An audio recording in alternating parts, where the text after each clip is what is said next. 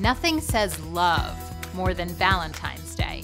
So, why not take some extra time this month to tell your donors how you feel about them? Shoot a few arrows of gratitude from your quiver of thankfulness. You'll want to avoid cliche things like sending flowers and chocolates, but there are other great ways which touch feelings and express your love for your donors. Here are five. Pick up the phone.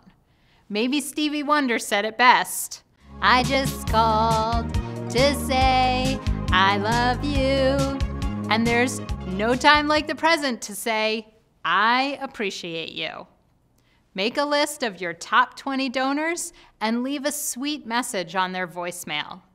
Let them know how much they mean to your organization and the people you serve.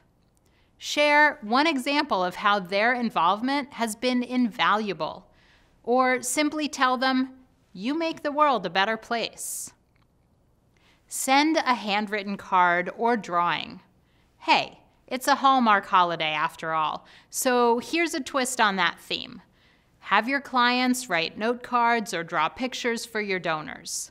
Encourage them to be specific about how their life has changed as a result of being involved with your organization. Deliver a photo. Your smartphone is a constant reminder of how easy and convenient it is to take photos and selfies.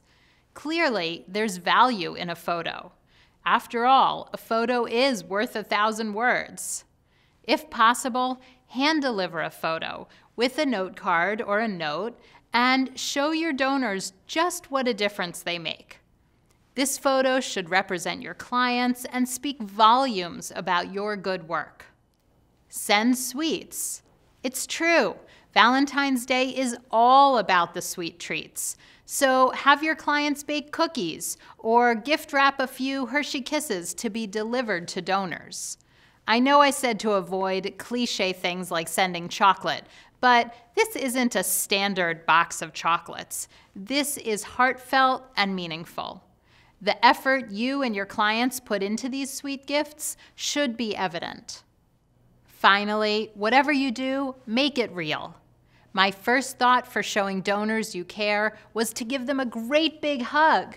But that's very personal and perhaps intimidating, and sometimes inappropriate.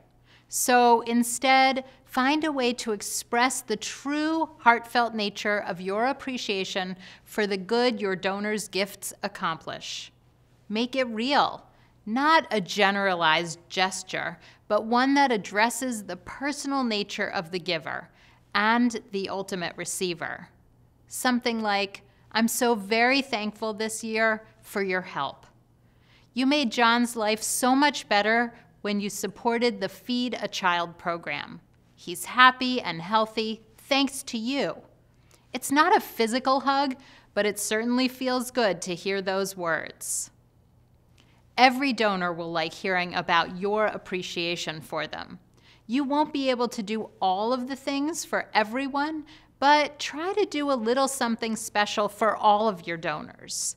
If the task seems overwhelming, segment your donors into groups of your largest donors, most loyal, first time, Plan Giving Society, and others. Then do something special for each group to show how much they mean to you and your organization. You'll learn even more ways you can show your donors' appreciation all year long in Mastering Major Gifts, my seven week online course. There's an entire module devoted to stewardship and ways to follow up and thank your donors regularly, as well as the best ways to thank them after they've made a major gift. It's Valentine's Day. Do something loving for yourself. Sign up for Mastering Major Gifts today and give the gift that keeps on giving.